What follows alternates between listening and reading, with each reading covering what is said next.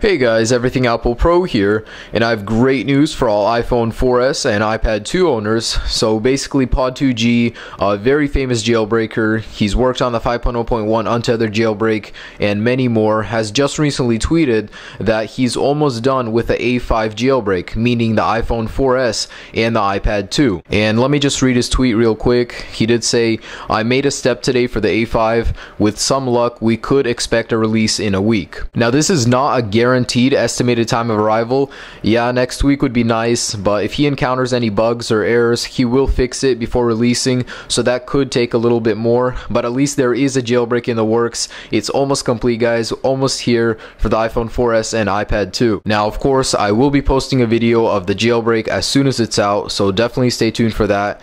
And Pod2G did also tweet that we need to update our iPhone 4S and iPad 2 to 5.0.1 as soon as possible. And the reason you'd want to update to 5.0.1 in the first place is because Apple is releasing a new firmware update very soon, so you'll either be stuck on the old firmware or the new one, and the jailbreak only supports 5.0.1. Now it's very easy to update. If you guys are already on iOS 5, it's very easy to do. You can go into settings, general, software update, and there it is. Just click download and install.